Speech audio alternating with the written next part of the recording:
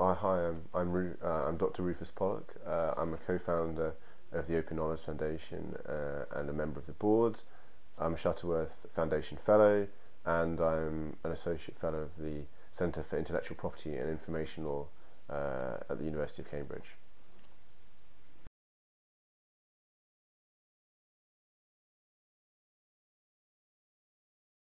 I mean, I think open science can be quite a broad, can be a, quite a broad term. I mean, specifically, the, the Open Knowledge Foundation has done a lot of work since we started in 2004 in relation to open science, I guess, particularly through knowing Peter Murray Rust, Cameron Neylon, and other people. Uh, and we we have a working group on open science. I mean, specifically there, I think I mean the, the simplest way I, we see it, let's say the Open Knowledge Foundation, is that open science is about it means science where the kind of underlying the, the information produced, the knowledge produced is is open, and that open in the sense of the open definition, which means free for anybody to access, use, reuse, and redistribute, subject to almost no restriction. The only restriction could be kind of attribution or the requirement to share back if, if you build on that work.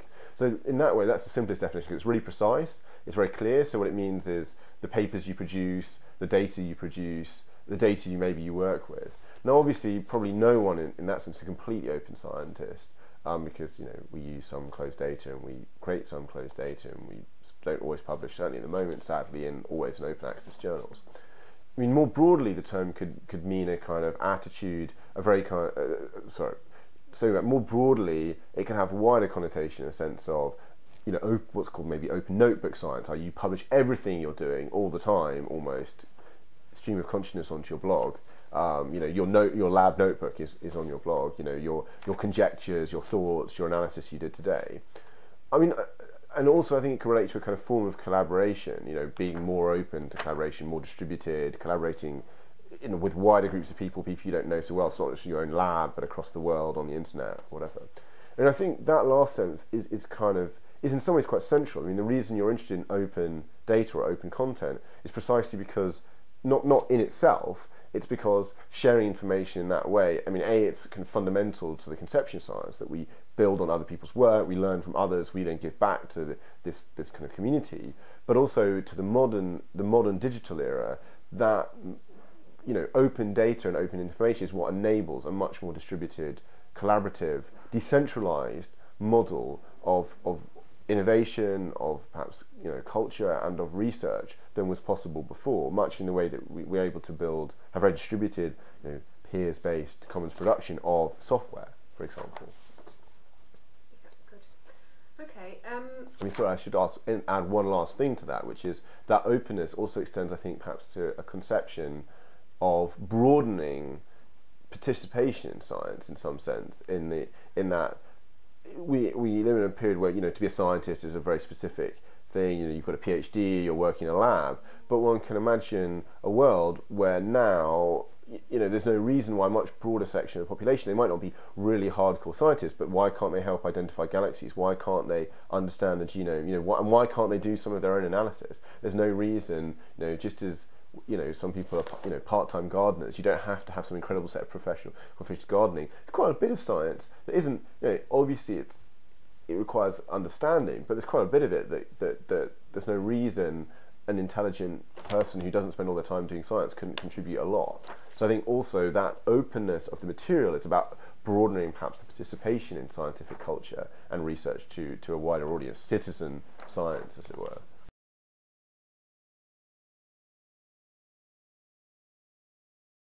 Say, I mean, economics, to the extent it's a social science, is, is very similar. It has data, people do research using that data, um, they have models, etc. So you know, economics to that degree is just similar as any other science. I mean, we could call it open social science if you want. That's what I I used the term open notebook social science at one point. You know, we could just extend almost all of those conceptions and ideas. I don't really see economics as very different um, in that in that regard.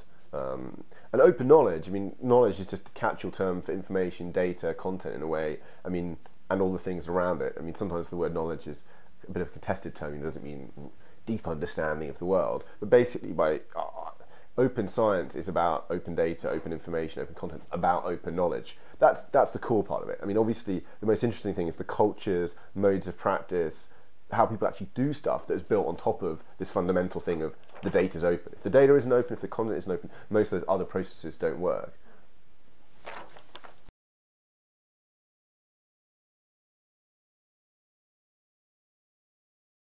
When you talk about opening up the data, Mm-hmm. and this is where, for me, it crosses over with the more specific to an open Mm. notebook science. Mm. Are you also interested in your own practice and opening up the methodology that you've used? Sure. I mean, Is uh, that part of the data for you, or is that a separate thing? I mean, I strictly, I don't.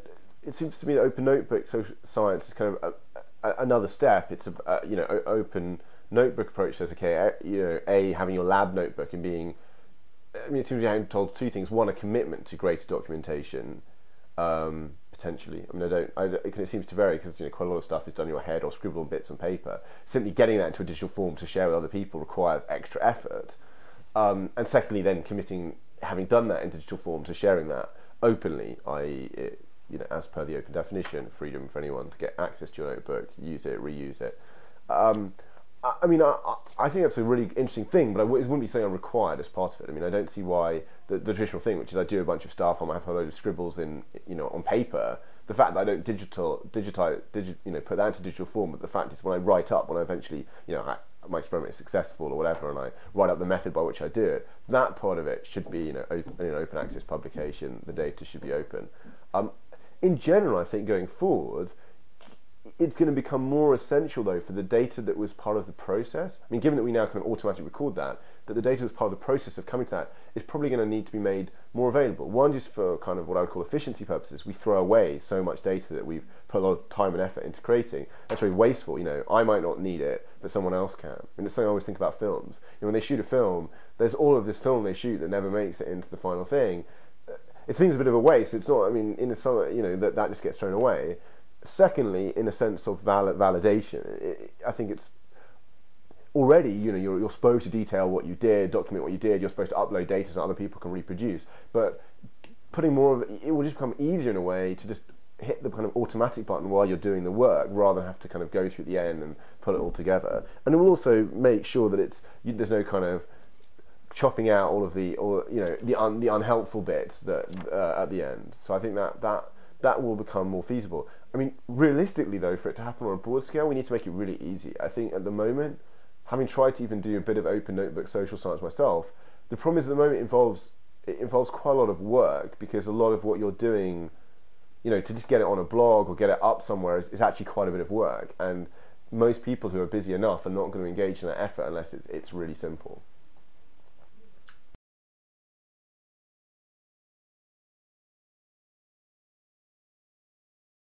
I, think the answer. So, what kind of benefits are there to me, be it personally or more broadly to the research community? I mean, be sounds very, sounds very pro bono publico, kind of, it's very good. But personally, I don't think there've been a lot of benefits as an academic, you know, at the moment because. Um, it, it, you know, it's a very small. Still, sadly, it's even though there are these really compelling reasons why we should do it. Many of the in, there's little necessary incentive. So one of the things to point out about those benefits at the moment is they tend to not accrue directly to you; they accrue to the broader community. They start accruing to me when I get to access to someone else's um, material, um, and you know I'm part of a, of a great thing. We've seen that we've seen that ecosystem develop in software where people now really do open up their stuff because of what they're getting back and because of a need to do so, and it's a default within the profession. For me, I mean, I, a I did my research in economics was around open knowledge and open knowledge production. I was very interested in how you know how do we learn? You know how do we create new technologies? How do we um, you know, create new software? And it seemed it seemed that this kind of open approach was very very interesting and quite powerful one. I mean, also in theory, it has been the default. I mean, just to reiterate, the default of publicly funded science. You know, that's why people publish in journals and want people to read their work. You know, they don't make money out of that; they get upfront funded to do that. Is that approach already? What has happened is that we've slightly got lost in the last 20, 30 years, uh, due due to kind of restrictions that have come in through ownership of journals and other things.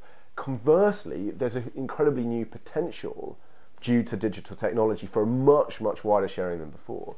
So I think for me, you know, directly, I mean, I really enjoy it. I find it really interesting. It's part of what I research. But from a practical level of why I do it, I think it is because you can just see this promised land. You know, you can see a world in which, you know, why, I don't know, why do I have to get a subscription you know, to the British Medical Journal. Why, you know, I was interested in you know, reading habits in ancient Rome. I was interested, you know, how many books got published, books in quote unquote in ancient Rome. At the moment, you know, even even when I was an academic, there were a bunch of paywalls I had to kind of go through or work out, or I couldn't get to something because my login didn't work. And just just the you know I, I'm just interested in things. Having access to that be it whether I'm an actual researcher or just a citizen is really really important and just making that easier and, and, and, and the world that we can imagine in which every human being has access to you know cutting edge research. You know also what could happen? What are the potentialities? What are the tools that could be made? What are the you know are discoveries going to be made by you know potentially or like insights got by 14 or 50 year olds sitting in their bedroom? You know that's a really exciting world. It's one that's not really that possible at the moment